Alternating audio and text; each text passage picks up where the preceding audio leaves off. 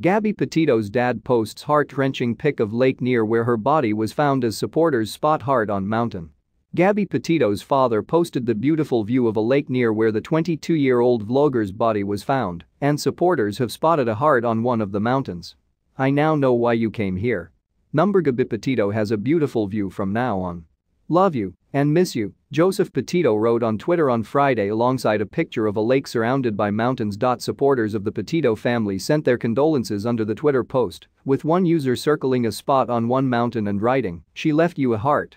While Joseph did not say the location of the image, his wife Tara Petito also posted a picture with Gabby's mom Nichole on a lake on Friday night. Two moms out at Jenny Lake, taking in the beauty of it all, Nichole wrote.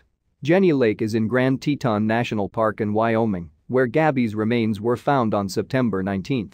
Gabby had been camping with her fiancé Brian Laundrie when she disappeared.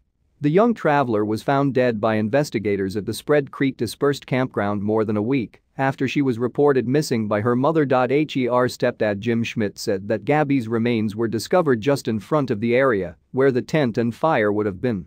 He added that it would have been only a short walk from where the van would have been parked, but was off the beaten path. A public memorial took place in Holbrook, New York, on September 26.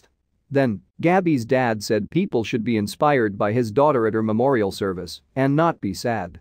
So when you leave here today, be inspired by what she brought to the table, because the entire planet knows this woman's name now, he said. And she's inspired a lot of women and a lot of men to do what's best for them first. Put yourself first and do it now while you have the time. I couldn't be more proud as a father. Gabby's autopsy results were revealed on Tuesday, October 12. Teton County Coroner Drive Brent Blue confirmed Gabby died by strangulation. He added that Gabby's predicted death was three to four weeks before her body was found. The body was outside in the wilderness for this time. Just days before Gabby's body was found, Brian, who is wanted by the FBI, disappeared and police have yet to locate him.